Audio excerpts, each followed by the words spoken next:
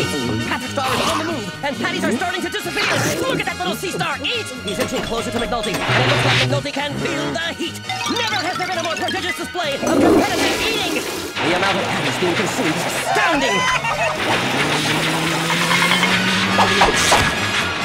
And now, yes, yes,